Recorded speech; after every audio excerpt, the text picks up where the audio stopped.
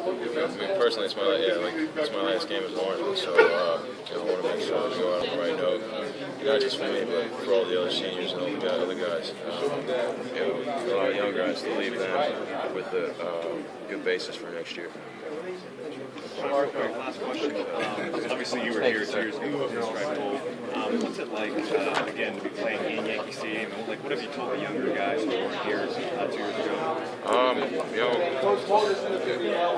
this game is something else because uh, you know you're playing in a stadium that you know there's such great history for it, and um, you know it's really not just like any other game because you know you know it's like you say you're playing a team that you, you know they played since early 1900s, so um, you gotta get ready to play. I mean that's the bottom line. It's not just really a football game. You know you gotta really get up for this one. You gotta prepare as hard as you can because uh, you know this is a game that you're gonna remember.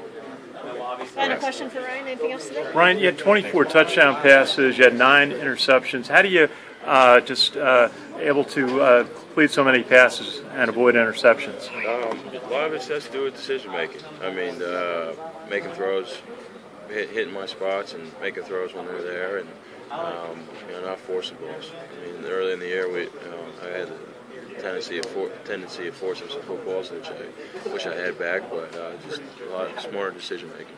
Really. And is it playing your game uh, on Saturday, or do you come up with some new uh, new plays, new looks for uh, West Virginia? Playing our game. I mean, um, know, we'll have a little some wrinkles like we do every week, just because uh, defenses we play. But uh, you know, we play our game. It's the only thing we're really worried.